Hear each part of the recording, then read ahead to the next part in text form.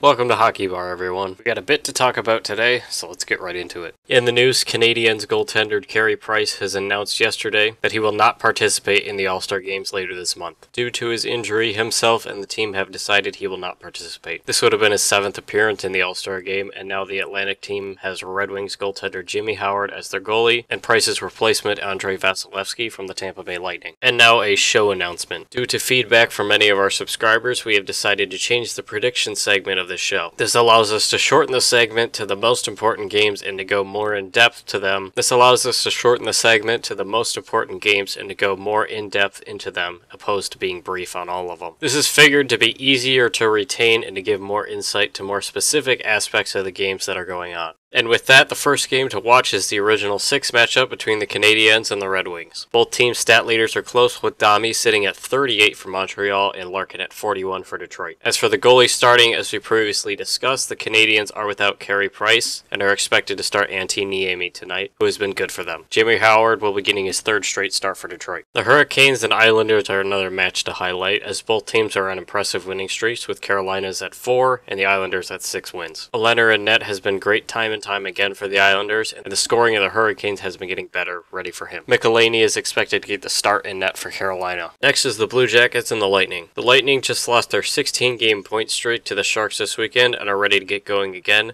still have quite the lead in the league at the very top. The Blue Jackets have been consistent themselves, having scoring from Panarin, who leads them in points, and goals from Atkinson, and not to mention their stellar goaltending in Bobrovsky. With stats, Nikita Kucherov still leads with 69 points and 49 assists this season. Alex Ovechkin is still sitting at 30 goals right now, and Mark Giordano has a plus 30 plus minus as of right now. For goalies, Robin Lehner of the Isles still has a respectable 218 goals against average. Jack Campbell of the Kings has a 93% save percentage, and Marc Andre Fleury Fleury of Vegas leads with 24 wins and 6 shutouts on the season. Thanks for watching Hockey Bar today. We would like to know how you feel about the format change and what we can do different, so please let us know in the comments or on Twitter. If you are new, make sure you subscribe so you don't miss any of the daily videos. Again, thanks for watching, and we hope to see you here again soon.